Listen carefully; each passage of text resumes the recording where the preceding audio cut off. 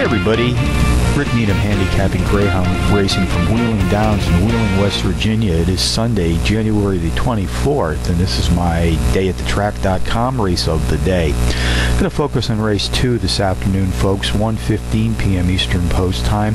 This is a grade C affair, and these pups are racing 548 yards. Using QuickDog software to formulate my multiple entry contenders list, I placed a power pup on top, number 5, Yahoo Oprah, on which I'll be making a win, place, and show wager on this afternoon. I like to play the boxed exotics here at Wheeling, so along with number 5 today, I'm going to box number 2, TMC's Esquire, number 6, BD's Jamie, number 3, Stars Aftermath, that's 5263, and the second today from Wheeling Downs. Quick Dog Software's help to isolate a pair of 4 to 1 long shots on which I'll be making win, place, and show wagers this afternoon. First will come in race 3, win, place, and show on the 4 to 1 shot, number 5, JJ's Jet.